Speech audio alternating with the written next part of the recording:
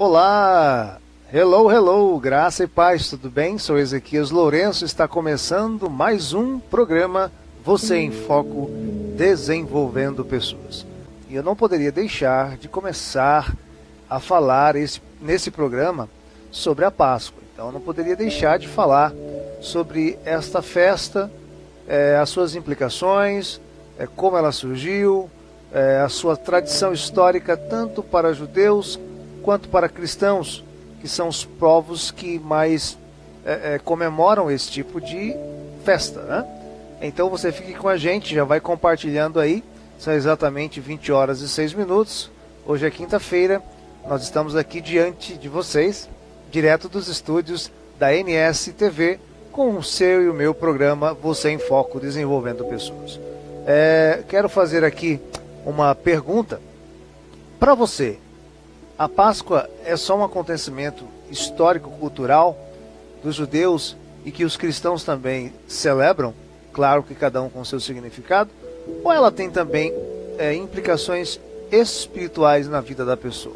Então já deixa aí o seu like, deixa aí os seus comentários respondendo essas perguntas e interagindo.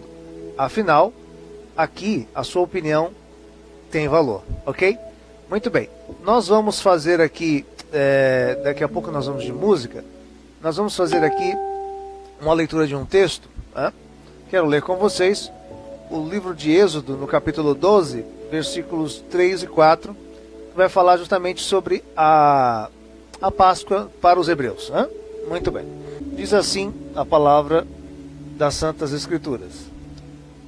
Falai a toda a congregação de Israel, dizendo no décimo dia deste mês: Você vai tomar, é, cada homem vai tomar para si um cordeiro, segundo a casa de seus pais, um cordeiro para cada casa. E se a família for muito pequena, para um cordeiro, que ele e seu vizinho mais próximo tomem segundo o número de almas, né? ou seja, de acordo com o número de pessoas na casa. Cada homem conforme o seu comer fará a conta para o cordeiro. Versículo 5: Esse cordeiro será sem defeito, macho de um ano. Vós o tomareis das ovelhas ou das cabras. E guardareis até o décimo quarto dia do mês. Era mês de abril, né? E toda a assembleia da congregação de Israel o matará à tarde. E tomarão do sangue e o colocarão sobre as ombreiras, sobre os umbrais, né? E na verga da porta, das casas em que vocês moram. E vocês vão comer dentro delas. Então, o texto progride aí, nós estamos falando da, da Páscoa hebraica. Né? Quero ler aqui também é, o Evangelho, segundo escreveu Lucas, capítulo 24. Quero ler uns versículos com vocês é, no versículo 12 em diante. Lucas 24, 12. Então Pedro, levantando-se, correu para o sepulcro e, abaixando-se, viu os panos de linho ali postos. Retirou-se, admirando consigo mesmo o que acontecera. E eis que dois deles foram naquele mesmo dia para uma aldeia chamada Emaús, que distava de Jerusalém 60 estádios. Iam falando um com o outro sobre as, todas essas coisas que tinham acontecido. E aconteceu que, enquanto eles caminhavam juntos e arrazoavam entre si, o próprio Jesus se aproximou e ia com eles. Mas os seus olhos estavam impedidos para o que não o conhecesse. Então você está vendo aqui dois textos, né? É, Antigo Testamento, Êxodo e Novo Testamento, o doutor médico Lucas escrevendo. O primeiro texto fala sobre a, a instituição da Páscoa em que o Deus manda uh, os judeus sacrificarem o cordeiro de um ano e comerem, cada um com suas famílias, dentro de suas próprias casas e passarem o sangue daquele cordeiro nas portas, nos umbrais, nas ombreiras, para que eles não tivessem os seus filhos mortos, porque era a última praga que Deus, o Criador, o Eterno, estava enviando para o povo hebreu, no caso o povo egípcio, dentro é, do Egito. Só que o povo hebreu só estaria salvo se colocasse este sangue sacrificando o animal e assim celebrando a Páscoa, comendo, né? E foi o que aconteceu e o povo hebreu não foi é, atingido pela, por aquela pestilência. Uh, no Novo Testamento nós lemos aqui Lucas narrando que Pedro foi até o sepulcro, onde haviam colocado o corpo do mestre, do, do rabino, né, o Rabone, Jesus Cristo, o hebreu, Yeshua, e chegando lá não encontrou mais nada. Depois, o texto diz que a caminho de uma aldeia chamada Emaús, que distanciava mais ou menos uns 12, é, 12, é 12 quilômetros né, de Jerusalém, estavam conversando sobre o que tinha acontecido, sobre aquele bom homem que havia sido assassinado, que havia sido injustiçado. De repente, uma outra pessoa se junta a eles no caminho e começam a conversar. E aí eles começam a se sentir muito bem com aquela conversa e tal. E aquela pessoa estava indo embora, ou seja, porque os dois já haviam chegado até o lugar onde eles queriam chegar. E esses dois acabam gostando tanto da conversa que convidam aquele terceiro homem entrar na casa. E aquele terceiro homem entra, eles oferecem comida, ele come. Na hora de ele fazer aquela oração, agradecendo a Deus, né, ao Pai pelo alimento, eles começam a entender e relembrar que aquele homem era justamente aquele que foi crucificado, Jesus Cristo. E de repente aquele homem some, vai embora. E aí eles ficam maravilhados e falam um para com o outro: Nossa, era ele com a gente o tempo todo. Nosso coração até queimava. O papo estava muito gostoso, né? Só que ele tinha ido embora. Então, uma das provas da ressurreição de Jesus Cristo. Então, no Antigo Testamento nós vemos o, a forma do cordeiro, né? Uh, o ato do cordeiro ser morto, todo aquele significado para evitar a morte dos primogênitos hebreus, né? E no Novo Testamento nós vimos aqui o, o próprio Senhor, Mestre Jesus, ressuscitado, né? o, o sepulcro vazio, e ele naquele caminho da aldeia de Emaús com os dois discípulos, amigos, e de repente entrando na casa deles, ou pelo menos onde eles iriam passar aquela pernoite, ele passa a comer, na verdade, dar graça a Deus, ao Pai, pela comida que estava sendo posta na mesa, e logo ele desaparece. E aí eles reconhecem, né? Então, estamos hoje com um programa com o título O Significado da Páscoa. Esta festa, essa comemoração é celebrada exponencialmente pelos povos judeu e as comunidades cristãs em todo o mundo. Né? E estamos aqui com uma pergunta muito interessante. A Páscoa seria apenas uma comemoração histórica e cultural, né, histórico-cultural, ou teria também uma implicação espiritual? Né? Então deixa aí a sua opinião, o que, que você acha. É, nós vamos tratar aqui hoje sobre o significado da Páscoa, né? a sua historicidade, desde quando ela surgiu, ali no século é, no século 18, né? antes de Cristo. A gente vai ver aqui o, a data melhor, porque eu vou passar aqui, vou pedir para o técnico para passar, e a gente vai poder discutir esse assunto, tá bom? Gente, é, eu quero mandar aqui um abraço antes para o nosso amigo cantor Mário Sutil, que acabamos de tocar a música dele, Se Deus Falou, Tá Falado, né? Essa música aí, ela tem o compositor Apolo Nascimento, que é meu cunhado, e é compositor de qualidade, pessoal. E ele está, ele gravou, ele compôs essa música aí para o Mário Sutil e para vários outros cantores também. Mário Sutil é um grande cantor, um grande intérprete emergente, está tá chegando agora e Deus tem com certeza uma, uma talento na vida dele, né? Vamos lá. Nós vamos falar um pouquinho sobre o que aconteceu no Egito, né? Vou pedir para o técnico colocar aí a nossa imagem. Enquanto isso, eu quero já me afastar um pouquinho aqui para ele poder me a gente poder se ver aí. Muito bem. Uh, Egito conhecido mundialmente né, pela, pelas histórias, as pirâmides do Egito são muito conhecidas e pessoas anualmente vão para o Egito conhecer as pirâmides. Existem até os mochileiros que fazem isso, né? pessoas que deixam suas casas com pouca roupa, com pouco dinheiro e acabam de alguma forma viajando o mundo conhecendo lugares como o Egito. O Egito é um lugar enigmático, né? É ali que, que, que tem o berço da, da humanidade. Essas pirâmides aí que vocês estão vendo na, na imagem foram construídas por faraós para mostrar a sua glória, para deixá-los eternos ou eternamente gravados na história. Né? E o interessante é que surgiram vários povos aí nessa, nessa, nessa região, dentre eles o povo hebreu, né? É, a partir de Abraão, em que ele tornou-se um, um errante, ou seja, um andarilho, começou a andar por aquelas terras e constituiu família, né? E as escrituras dizem isso é, no livro de Hebreus, a partir do, uh, na verdade, de Gênesis, né? A partir do capítulo 12. E você vai ver aí que existe aí uma, uma história linda a esse respeito. Só que a família deste homem, a família de Abraão, ela foi, uh, ela foi escravizada, né? Os seus descendentes ficaram 400 anos, gente. É muito tempo, né?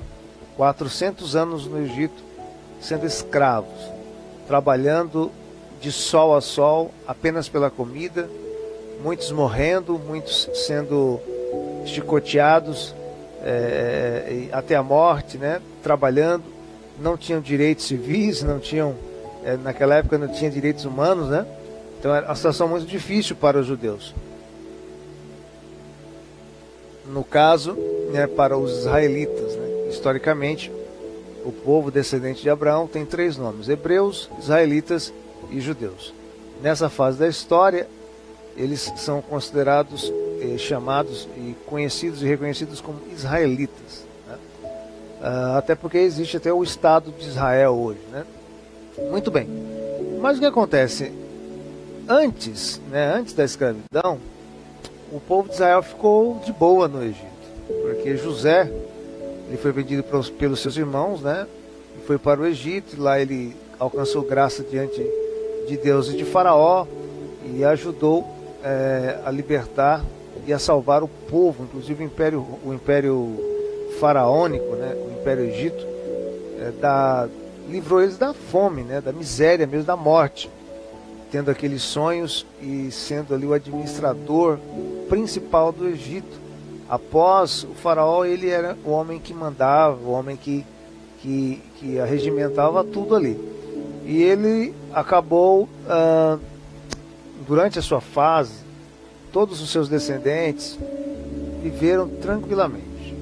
Só que ele morre, ficaram lá seus descendentes foram crescendo, crescendo, crescendo, e surgiu um povo asiático chamado Ixos, que invadiram o Egito, e até essa invasão foi facilitada por uma questão política, e eles acabam assumindo o poder como faraós, né? No caso, é, o principal do povo Ixo acabou assumindo como faraó. Então, a partir daquele faraó surgiram outros faraós da dinastia Ixos, né? E eles não conheciam o povo de Israel não conhecia a história, não conhecia a tradição. Né?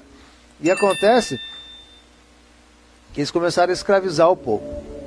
O povo tinha que levantar suas próprias casas, é, fazer tijolos e passou a ser muito humilhado, muito humilhado. Mas por que, que ele fez isso? Ele tinha medo desse povo se rebelar, porque esse povo começou a crescer, crescer.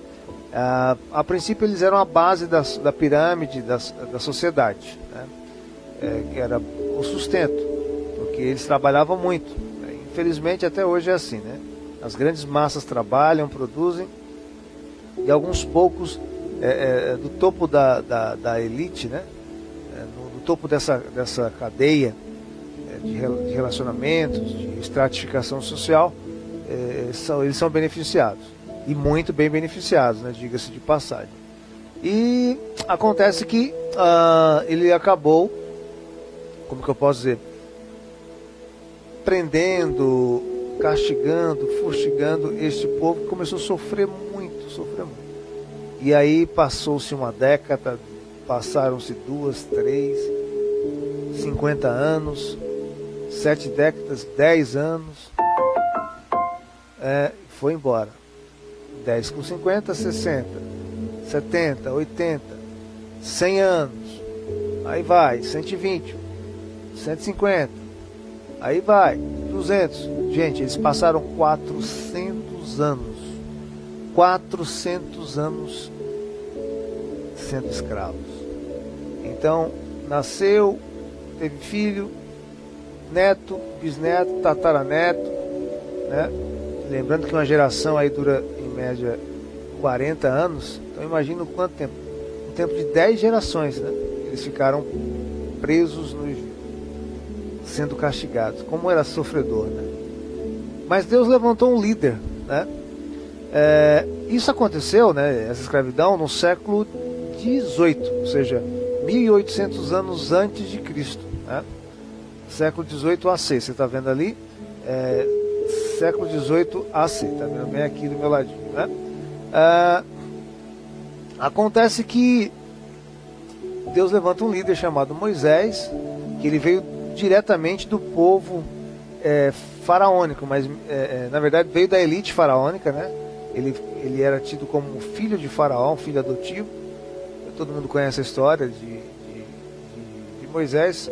A sua, a sua mãe não podia criá-lo, estava havendo uma perseguição muito grande no Egito. Eles estavam matando as crianças, justamente para poder não deixar esse povo judeu crescer muito. Os faraós, o faraó Ixu né, estava matando as crianças para que o povo não proliferasse tanto, não crescesse, né? Porque estava com medo do povo crescer tanto, se rebelar e tomar o poder. E aí ela colocou ele numa, numa cesta, numa cesta de, de, de, de bambu, vamos colocar assim, colocou no rio Nilo e deixou por conta do destino, né, no caso, que Deus desse o melhor futuro para aquela criança.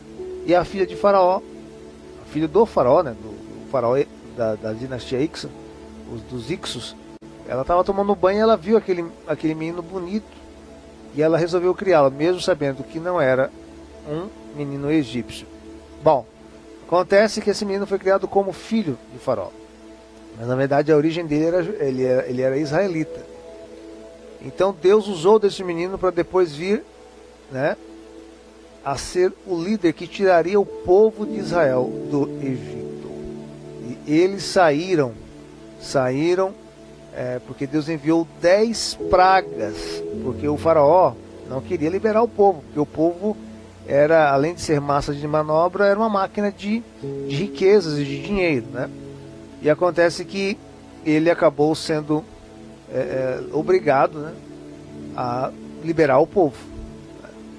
É, Moisés vai várias vezes diante de Faraó falar e ele endurece o coração, aí Deus mandava uma praga. Deus mandou dez pragas. Cada praga é referente a um, combate, a um combate a uma deidade egípcia, porque os egípcios eram politeístas, acreditavam em vários deuses.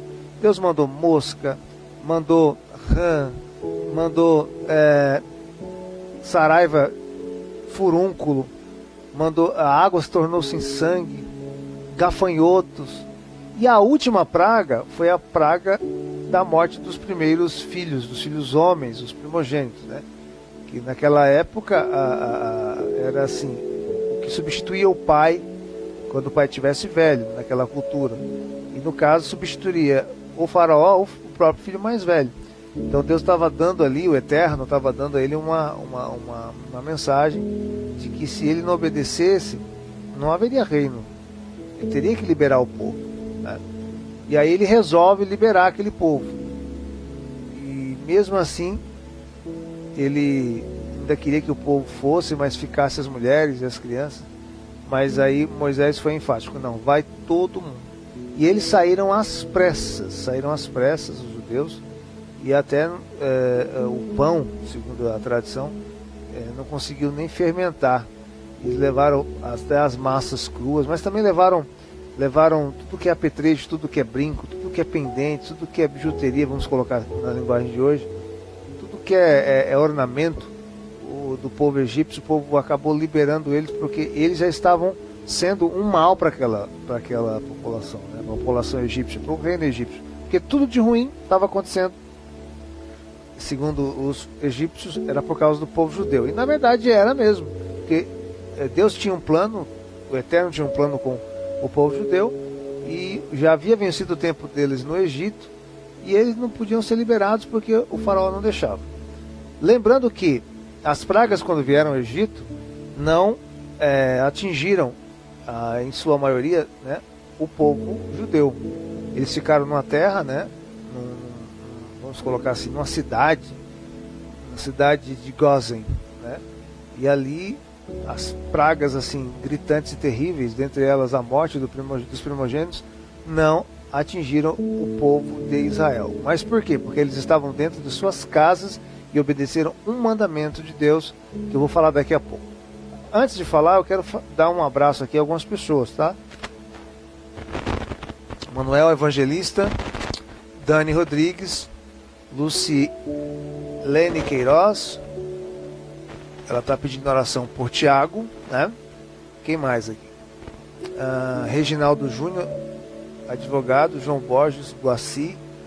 No final do, da programação a gente vê se, se ora por eles, né? Muito bem. Uh, são exatamente 20 horas e 32 minutos. Vou passar o próximo slide para vocês verem. O próximo slide fala quando o povo sai.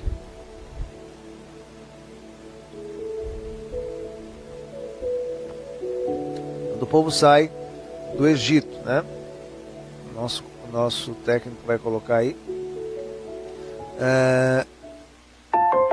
Vale lembrar que os egípcios eles massacraram muito o povo de Israel, massacraram demais. Né? Olha aí, saída de Israel do Egito é, foi em 1250, né? Então percebe aí que se você fizer as contas, você vai perceber aí que eles ficaram 400 anos sendo pisoteados, sendo massacrados. Você pode é, dar um pulinho na história e mais a fundo e você vai perceber. Quem tirou esse, esse povo de Israel do Egito, quem liderou, né, foi Moisés, guiado por Deus. Né? Então ele tem um irmão chamado Arão que ajuda muito. E Arão acaba sendo o intérprete, aquele que seria o porta-voz de Moisés, porque Moisés é, havia perdido um pouco o traquejo, até a sua própria fala. Ele não tinha mais a, a, língua fluente do Egito. Né? Como Arão era um homem, era um sacerdote, um homem que gostava muito de ler, de se atualizar, ele foi o porta-voz, é aquele que falava perante Faraó, mas sempre com a presença de Moisés. Uh, tem mais pessoas pedindo oração aqui. Eu vou ler mais um pedido e depois a gente vai passar uma música. Uh, peço oração para mim e para minha mãe, Maria Vicente. É Vicente que está aí? Maria, uh, quem fala é Silas Venâncio. Vicente Paulo e para minha mulher Roseli da Costa. E para toda a minha família, por nossa saúde. É, que Deus nos livre de todas as enfermidades. Muito bem, Silas. Nós vamos orar sim, tá? Uh, temos aí também a Lucilene Queiroz falando para orar para minha família, Felipe, Bianca, Pedro, Luciele. Vamos orar sim. Deus vai dar vitória a vocês. Muito bem, estamos com o seu, no meu, nosso programa Você em Foco Desenvolvendo Pessoas. Um programa que tem o objetivo de te trazer conhecimentos e agregar valores à sua vida independente de você concordar ou não com as ideias aqui expostas. E você é livre a opinar e acordar e também discordar, colocando aqui embaixo a sua opinião. Afinal, a sua opinião aqui tem valor. Bom, gente, estava falando aqui, né? Nós ouvimos agora uma música muito legal com o cantor Mariano, né? Como é o nome dele? Samuel Mariano falando que Deus é grande, né? E Ele é grande mesmo. Deus é o nosso é, é, é, refúgio, fortaleza, socorro bem presente nas horas difíceis. Bom, uh, bom, aquela praga não atingiu os filhos de Israel, mas por quê? Porque eles obedeceram mandamento, né? ou pelo menos uma ordenança. Eles deveriam ficar dentro das suas casas, com as suas famílias, independente do número de pessoas que fosse, eles teriam que matar um cordeiro, um cordeiro de um ano, e esse cordeiro não poderia ter mancha. Então, se ele fosse preto, era só preto, se fosse branco, era só branco. É, se ele fosse, sei lá, amarelinho, seria só amarelinho, né? Aquela cor meio bege. Não podia ter mancha. E teria que ser comido todo. Não poderia ser comido parte deixado deixado outra. Se fosse muito grande, aquele cordeiro chamaria-se outra família vizinha, todas ficavam dentro de casa, conquanto que o cordeiro fosse todo consumido. A parte que a excrescência, né, a parte que não era é, para alimentação, deveria ser queimada. E o sangue deveria ser colocado nos umbrais da porta, né, deveria ser colocado nas, nas ombreiras da porta, a fim de que é, ficasse uma marca naquela casa. Olha que interessante. Então, quando veio o anoitecer, as escrituras dizem que um anjo foi ordenado a entrar em todas as casas que não tivesse aquela marca e matasse todos os homens, filhos homens de idade aí de maior idade. No caso, você tem dois filhos, mais velho caso sendo homem, seria, é, seria morto. Ah, a Bíblia não fala de homem necessariamente, fala de primogênito, né? mas a gente faz essa conexão, mas não necessariamente teria que ser o, o primeiro filho. Então ela deixa meio que aberto aí. Bom, uh, o povo sai do Egito, né? Como você vê essa imagem, nós vamos para o próximo para, para o próximo slide. O próximo slide é interessante, que vai, vai mostrar para vocês como que era, né? É, como que o, tá vendo aí como que o homem fazia? Colocava o sangue numa talha e pegava uma bucha, pedaço de ram, é, com ramos secos, né? E colocava na parte de cima e nas partes do lado, né? Aí fazendo isso direitinho, quando o anjo passou, viu, opa, aqui não não vai haver mortes, porque esse povo aqui ele é escolhido, é um povo que obedece às ordenanças é, de Yahvé ou de Elohim, né, é, do Eterno. E foi assim que foi instituída a Páscoa. Mas por que Páscoa? A palavra Páscoa quer dizer pesar no hebraico, e quer dizer passagem.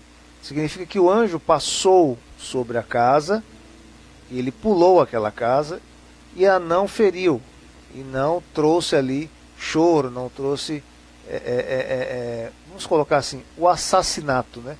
a morte daquele, da, daquela, daquela, daquela criança. Isso é interessante, porque é a partir desse momento que é constituída a Páscoa. E eles deveriam fazer isso, segundo as ordenanças, a partir daquele momento por toda a vida, por todas as gerações. Ensinarem para os seus filhos, para os filhos dos seus filhos, ou seja, os seus netos, e assim sucessivamente. Isso aconteceu no mês de abril, né? É, Diga-se de passagem, no mesmo mês em que o Brasil foi descoberto. Por isso que o primeiro nome da primeira cidade, ou do primeiro local onde foi é, é celebrada a missa é o Monte Pascoal, né? Foi justamente na, na, na, no mês da Páscoa, né? E uh, como o Brasil foi descoberto por é, portugueses. Muito bem.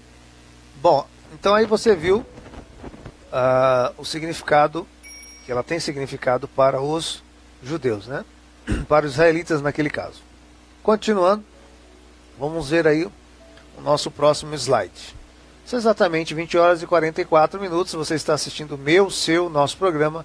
Você em Foco desenvolvendo pessoas. Ah, muito bem, Silas.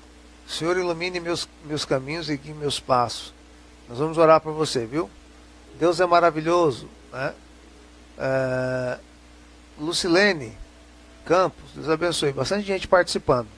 Obrigado aí pela ah, participação de vocês, tá bom? Pessoal, então você está vendo aí a foto do cordeiro, tá vendo? Nosso cordeiro aí, né? Interessante, né? É, nós estamos vendo aí também um coelho. O que, que isso tem a ver? No Antigo Testamento, a, a Páscoa original, como ela foi instituída, tem a figura do cordeiro. Esse cordeiro aí é branquinho, né? Esse aí deveria ser morto na tradição, porque ele não, aparentemente não tem mancha, né? Agora você também está vendo um coelho aí. O que, que isso tem a ver? Bom, uh, os alemães, né, espalharam essa ideia uh, do coelho e, e, associaram ele à Páscoa. Uh, os descendentes de alemães, né, vieram para a América Latina e trouxeram essa essa cultura da Páscoa, sendo a cultura da Páscoa eh, do, do coelho associado à Páscoa, melhor dizendo. Né? Por quê? Porque os cristãos passaram né, a, a, comemorar a Páscoa, porque os cristãos é, vieram, surgiram a partir da cultura judaica, a partir da cultura israelita. E como os israelitas sempre, é, desde a saída do Egito, passaram a comemorar a Páscoa, né, que é uma das três é, festas mais importantes, das cerca de sete festas que eles têm, eles passaram a comemorar, então espalhar essa ideia e essa tradição pelo mundo, porque depois o povo judeu também saiu, saiu ali da, os israelitas saíram ali da, da, da, da Palestina e foram morar em vários países no mundo, até por conta das perseguições que sofreram, né? É, e aí os cristãos também ao redor do mundo proliferaram, é, é, cresceram bastante, né? É, prolif, é, esqueci, eu não consigo falar em português essa palavra. Consegue falar, Hernani? Proliferar, né? Proliferaram, muito bem. Uh, em inglês eu diria, they grow up very much, very, very, very much in every corner of the world. Então, quer dizer, eu acabo confundindo um pouquinho. Uh, que acontece o seguinte, gente. Acontece que é, os cristãos passaram também a comemorar a Páscoa, porque Jesus Cristo, lá na frente eu vou falar para vocês, o, o, mestre da, da, dos ensinamentos sobre o caminho de Deus, ele era judeu, ele era israelita, e aí ele começou a ensinar e o ensinamento dele cresceu por todo mundo, tem muitos, milhares, milhares de, de, seguidores durante esses mais de dois mil anos de história do cristianismo, vem, vindo o, o, o, o, cristianismo a expandir-se. E ele ah, surgiu a partir de uma cultura é, israelita. E quando Cristo morre, ele morre justamente naquela mesma semana né, da Páscoa. Então é, ele é associado que ele é o Cordeiro de Deus, assim como um cordeiro estava sendo morto em cada casa por conta da Páscoa, né, da tradição, ele estava sendo morto, exposto a, aos olhos de todos é, na cruz do, do, alto do madeiro, ali no, no Gólgota. E, e, ele também, antes de, de, de, de, ser morto, né, como ele já sabia que ia ser morto, seus discípulos a, acabam se escondendo, né, com medo também de serem mortos. Mas antes de o, o mestre ser morto, ele ceou, ele, ele jantou, ele ele comeu uma refeição é, que na, na, mesma semana da Páscoa, ou seja, antes dele morrer. Então a ceia é, é tida a ceia e a morte e ressurreição de Cristo é, é, é comparado-se à Páscoa dos judeus, né? E isso numa, numa, questão de simbologia cristã, da tradição cristã. Bom, uh, vamos lá.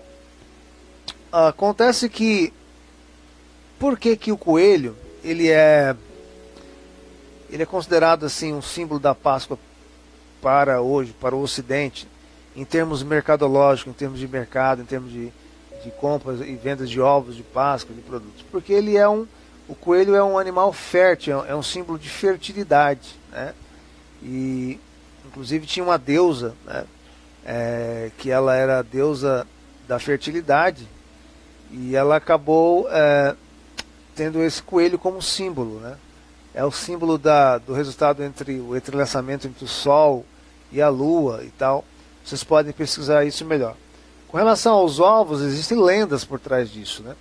Existe lenda que essa, essa deusa ela acabou transformando uma ave em um coelho, porque, enfim, não, não tinha coelho e ela queria, deu na cabeça dela que eu vou fazer um coelho, eu vou criar um coelho. ela transformou, né? É, é, é, ela transformou uma ave em coelho, só que a ave botava ovos e o coelho, né, no caso a ave é, transmudada para coelho, é, passou a, a, botar ovos. E aí é, ficou essa ideia de que o coelho coloca ovos, né? Há outras lendas também, assim, em torno disso aí, é, dizendo que o coelho passou enquanto uh, estavam uh, mexendo com os ovos ou pintando os ovos, e aí associaram ao coelho que ele acaba botando ovos, enfim, tem uma série de, de, de, de lendas nesse sentido. Então o mercado apropriou-se do coelho, né, por conta da sua fertilidade, por conta dessa, dessa, dessa lenda, dessa crendice, crendice, e aí a Páscoa passou a ter essa conotação. E confesso, né, nesse caso, é, que na verdade a gente denota que isso acaba tirando o, o real significado, o real objetivo da Páscoa. Né? Então, é, essas novas gerações que estão nos assistindo passam a não conhecer o que é o que é a Páscoa, qual o seu objetivo, qual a sua origem. Né? E aí fica a pergunta que eu faço: é a Páscoa apenas um produto cultural da, de Israel e, e também da, da, da, do cristianismo, né? mesmo que transmudado para a fé cristã, ou ela tem implicações espirituais? Então deixe aí a sua opinião. Né? Então são 20 horas e 52 minutos, nós estamos ao vivo, tá bom? É, a Luciene Campos Alckmin está pedindo oração pelos ovários e útero, né? E ela, é, ela acho que ela está querendo ter, ela quer ter filhos, né? Então, isso estaria é, é, sendo uma questão no casamento dela. Mas Deus vai te dar vitória, viu, Luciene? A minha esposa não tinha, não podia ter filhos. Ela era estéril e nós tivemos dois filhos lindos, maravilhosos. Deus abençoe os meus filhos, estão em casa. Um beijo do papai. Deus abençoe vocês. A menina já está maior, né? mas daqui mais alguns meses maior. E o menino aí está tá chegando lá também. Muito bem, nós vamos é, de música e depois da música eu vou falar aqui sobre o, um pouco sobre a ressurreição de Cristo, os elementos da Páscoa e a ceia, tá bom? Nosso programa está bem instrutivo hoje e vamos em frente. Uh, vou falar um pouquinho sobre o próximo slide, que é justamente os elementos da Páscoa, né? O significado, porque assim, a Páscoa ela passou a ser é, comemorada pela comunidade hebraica, no, o israelita, né? É, o judaica, são três nomes que, que tem né, é, esse povo, é, ele é conhecido por três nomes a depender do momento histórico. Mas basicamente ela é ela é comemorada com esses elementos. Você está vendo aí, ó, aqui do meu lado, um, uma xícara, né, se eu posso dizer, é um copo de vidro com água e sal, significando é, o suor do povo que trabalhava muito na escravidão, né? sempre lembrando o Egito, tá, gente? Sempre lembrando o Egito. É, o, o ovo significa justamente a esperança da reconstrução é, é, é, é do templo, né? do templo, da nação como um todo. É, ao lado do ovo você tem ali um tipo de, de patê, que ali tem algumas misturas é, de, de fruta passa, de, de maçã, aquilo ali significa argamassa que o povo usava para poder é, construir a, a, as edificações para os egípcios, né? Então, assim, na, naquele trabalho forçado, naquele, sob, aquele sol causticante. Aquela, aquele, aquele verde ali são ervas amargas, né? significando o ardor, a, a dificuldade do trabalho. Enfim, uh, aquela parte de cima ali, perto do ovo, e perto também daquela, daquela taça de.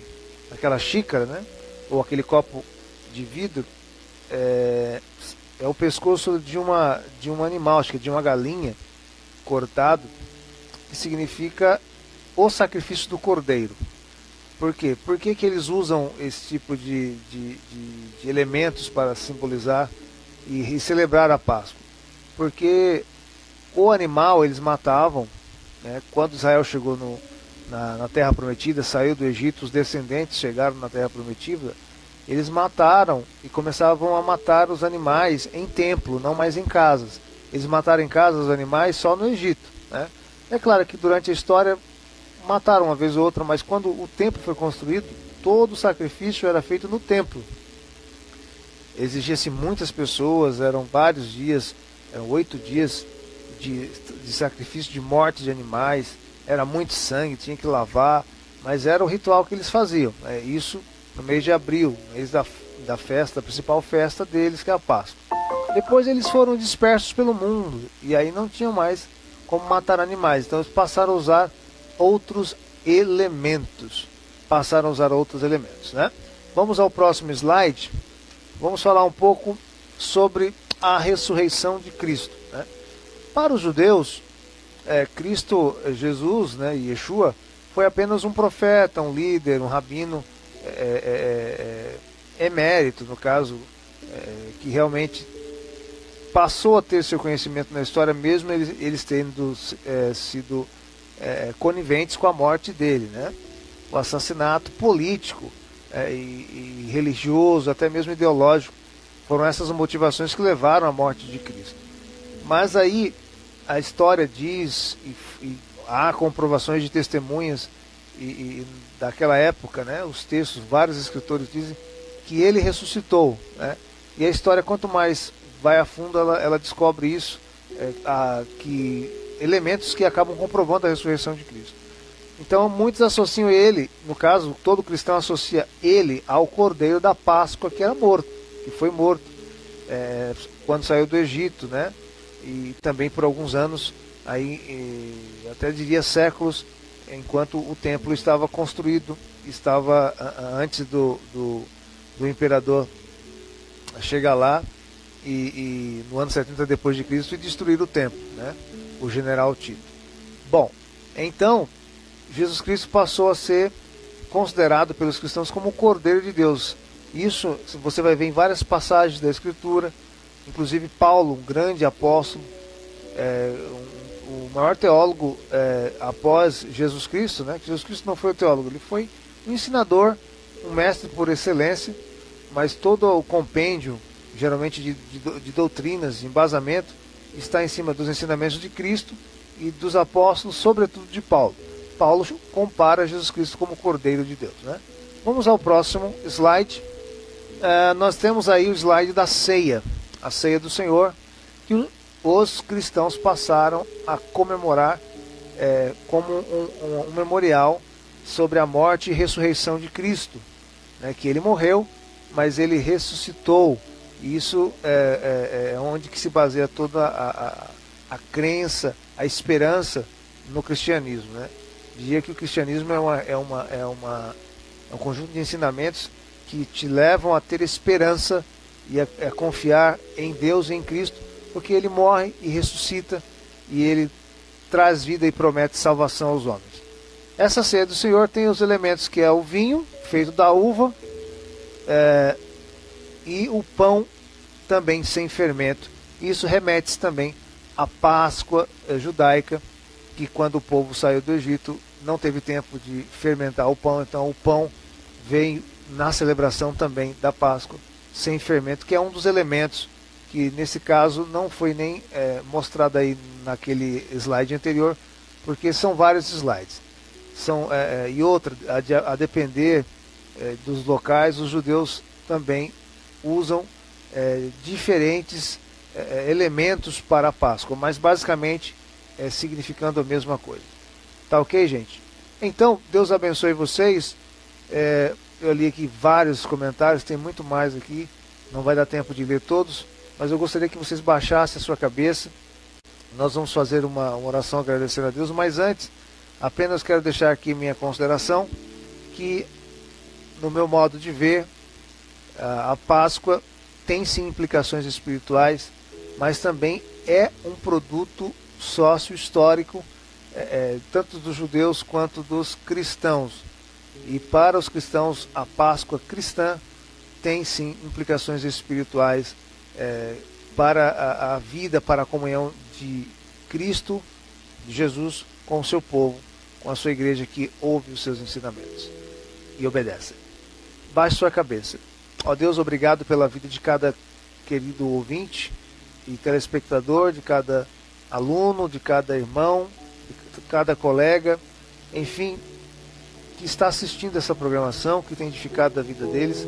Eu peço que a tua bênção esteja sobre a vida dessas pessoas, esses nomes que foram citados, pessoas que precisam de uma intervenção divina na sua saúde, pessoas que precisam do teu amor, da tua paz, que o Senhor possa enchê-las do teu espírito, trazer saúde, gozo, paz, graça. É no nome de Jesus que nós te pedimos e te agradecemos. Amém. Gente, foi muito bom estar com vocês. É, vocês são muito especiais, estão fazendo esse programa crescer a cada dia mais. A audiência ela tem se mantido aí numa média boa, com picos de muito alta, razoável, mas estamos sempre com uma boa audiência. Deus abençoe você. Compartilhe essa ideia. Você em foco, desenvolvendo pessoas. Ah, no próximo programa estamos aí. Deus te abençoe. Vamos em frente.